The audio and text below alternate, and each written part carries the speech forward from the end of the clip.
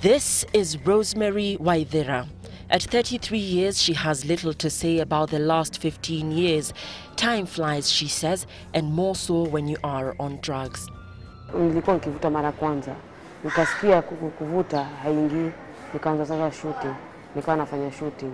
After that hiyo shooting nikaiacha tena, nikarudia kuvu, kuvuta. Sasa nikawa nasikia poa nikivuta. Rosemary would smoke and shoot heroin, chasing that short period of intense pleasure addicts call a high. She says the sense of contentment and physical relaxation she would feel when she was high convinced her this was the life. But as the drug would start wearing off, she would feel irritable, even restless. Arosto ni ma- manake ni kuwa na, yani na maumivu ya mwili ukikosa kuvuta ile kitu, ndio tunaita. Ndio unakuta unashikwa na zile ninio za baridi baridi, mara unasikia baridi, mara unasikia kijoto, kwa sababu ya nini? Ya ile kuwa haujavuta. Lakini ukivuta utachangamka mpaka utaweza hata kuoga, lakini ukiwa hujavuta huwezi kufanya lolote mpaka uvute, ndio usikie mwili umechangamka, ndio uweze nini ku- kuoga ama kula. It didn't take long for Rosemary to become a full blown heroin addict. She started to take more to get that same high she craved for so much. And to afford more, she needed money.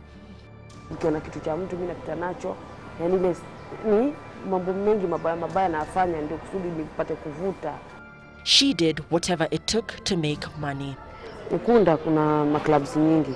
Sasa ukienda kwa clubs unatafuta nini? Unatafuta mwanaume, unaenda kwa klabu, unatafuta mwanaume, mnaongea naye ama mwanaume akikutaka anakuita, mnaenda mnamalizana naye.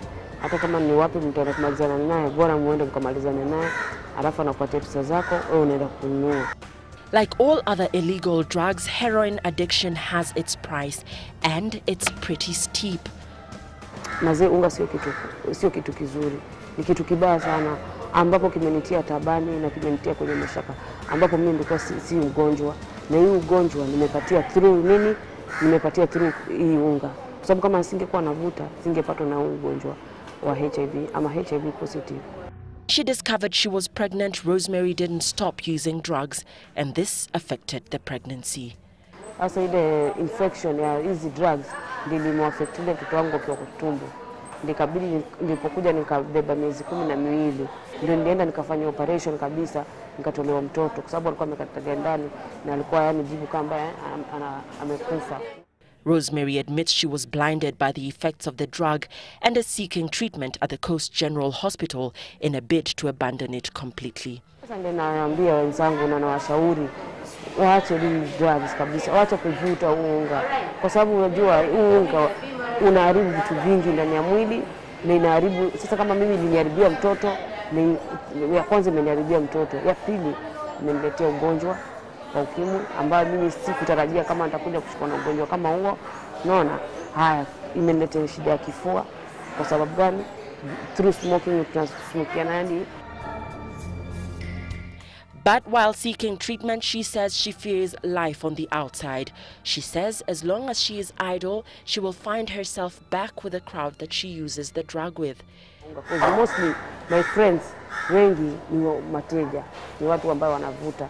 Sasa ndio naomba yani jibu hiyo iniondokee, yani nisi- nisishikwe na yani nisipate marafiki, nipate sponsor, ni sponsor yani anisaidie kikazi tu. Mimi naomba kazi tu nipate, nifanye, nijikip busy. Unaona, unajua ukijikeep busy hata ile mawazo ya kuvuta inakuondokea, inakuondokea. We did not get to meet Rosemary's family as she says she has hurt them too much and would rather we did not look for them. The drug, she says, overwhelmed her and destroyed everything she held close to her heart. Na ningeomba mamangu mahali alipo anisikie na anisamehe kwa kuwa nilikuwa mteja na sasa hivi nimeacha. This is Rosemary's cry for help.